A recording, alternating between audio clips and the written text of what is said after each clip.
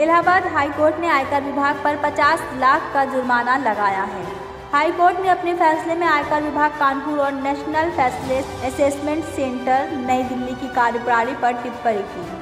कहा कि ये नैसर्गिक न्याय के खिलाफ है। आयकर विभाग को जुर्माने की राशि तीन सप्ताह में प्रधानमंत्री राहत कोष में जमा करने का आदेश दिया है। ये फैसला जस्टिस एसपी केसरवानी और जस्टिस जयंत बनर्जी की डबल बेंच ने एसआर कोल्ड स्टोरेज की याचिका पर दिया है।